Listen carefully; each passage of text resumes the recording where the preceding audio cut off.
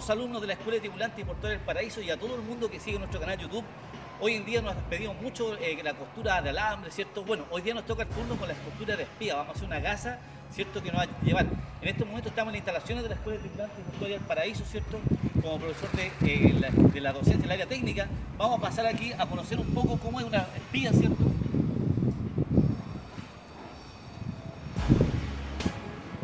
Acá tengo una espía de, de 8, de 64 milímetros de polipropileno. Esta, este cabo que, tenemos acá, ¿cierto? Es de perlón, ¿cierto? Un cabo de perlón en la cual esto se llama ramisa. La ramisa se, cuando uno va entregando la espía a la lancha, ¿cierto? Ellos lo toman de la ramisa y comienzan a dirigirla hacia el puerto para ponerla arriba de eh, la vita o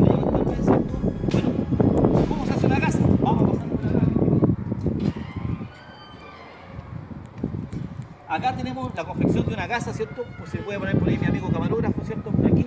Entonces yo aquí tengo la separación. Contamos con, estos son los torones. Cada torón tiene filamentos. Entonces tenemos 2, 4, 6, 8. 8 torones, ¿cierto? En la cual se deben pasar. si se fijan bien ustedes acá, ¿cierto? Acá tenemos la, posición de, la- de cada torón, de cada movimiento, que vamos a hacer. Yo aquí tengo dos. Entonces, este pasa esta mágica herramienta que se llama Urel, ¿cierto? En la cual es de madera, para ir tomando cuando está muy apretado. En este momento, como son las primeras pasadas, no está tan apretado. Por tanto, viene a pasar una pasada acá, se pasa por delante. Después yo paso la otra en forma contraria. Vamos a hacer una, hay muchas formas de hacer una costura de espía, pero vamos a hacer la más clásica y la más firme. Entonces yo paso una. Como se demostró, se me viene este, mire, pasaron dos, vienen otros dos acá. Entonces abro yo aquí y paso mi segunda pasada. Vamos la segunda pasada. No he tomado el tiempo, son 5 para la 1 de la tarde del 19 de marzo y estamos en vivo en directo en este minuto. Y vamos con la segunda pasada. Tiro un poco más atrás y tengo mi tercera pasada acá. Vamos a abrir acá, uno y la tercera pasada. Ahí abrimos y tenemos ya la tercera pasada. Con tres pasadas una espía aguanta muy bien al momento de trabajar 5 toneladas que trabaja con una espía. Por tanto, esta es la bajar lista que ya está ready. ¿ya? Y volvemos a dar una vuelta acá, ¿cierto?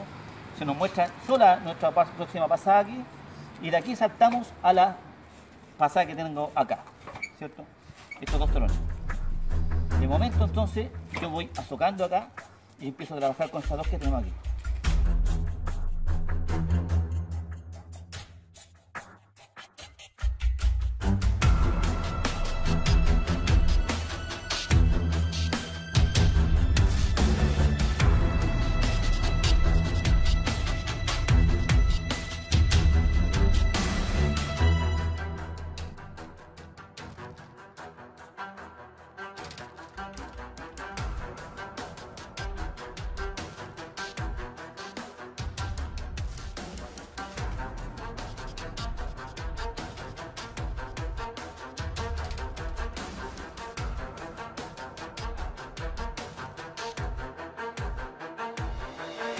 Bye.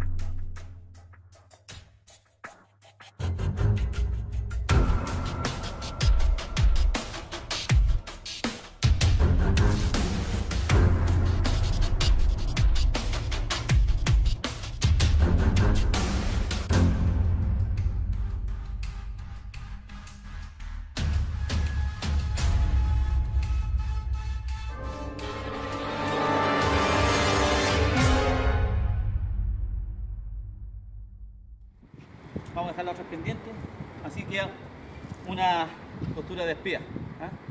para que se la vayan viendo. Se va haciendo costura cruzada de un lado hacia otro y rematamos al fin y al cabo con tres pasajes. Bueno, nos vemos hasta un próximo video. Muchas gracias.